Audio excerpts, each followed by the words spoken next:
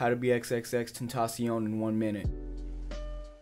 I actually really like X's music because I'm really into emotional and like moody stuff. A lot of people don't like him and give him crap because sometimes he acts too edgy. From my perspective, it just looks like he's saying what he wants to say, and I mean, I can respect that. He may or may not have done a lot of the things people say he did, but I don't know. I can get down with his music.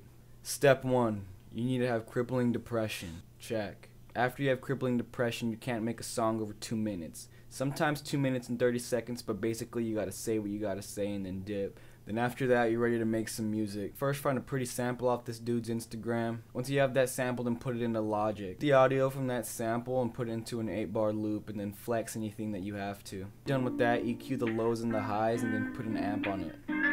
You should have like a really lo-fi type feel. And to add to that lo-fi feel, you can go ahead and put the iZotope vinyl plugin on top of it. After that, throw in a kick. I pitched it down a lot so it sounds really deep. I EQ'd the low so it really punches and then side chained it. Throw a snare on with a little bit of reverb.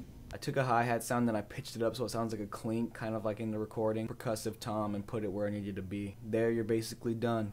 That's how you become XXXTentacion and that's how you recreate Jocelyn Flores. If you enjoyed this video, please subscribe, please like it, and uh, share it with X. And if X, if you're watching, please share it with your fans. So yeah, here's the beat. Thank you.